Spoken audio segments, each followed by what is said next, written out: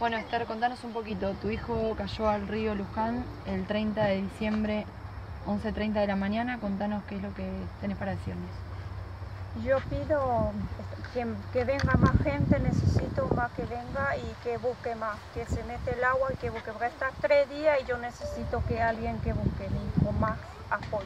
Eso es lo que pido, más apoyos. Tu nene tenía 11 años. 11 años tiene mi nene, 11 años y se cayó en el agua.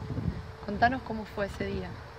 Y ese día fue un, un lindo día, a las 11 y media de la mañana y él se cayó en el agua. Salió dos veces y él después se fue para adentro. Ustedes vinieron en familia En a pasar familia, el día. Es la primera vez, no conozco para nada. el- No sabían que el lugar era peligroso. No, no, no.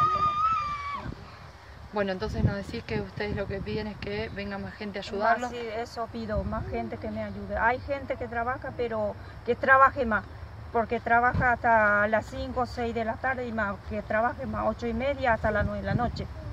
Ustedes estuvieron todos estos días desde bien temprano Sí, y hasta última hasta las hora. 6 de la mañana, yo- ellos están a las 7 de la mañana.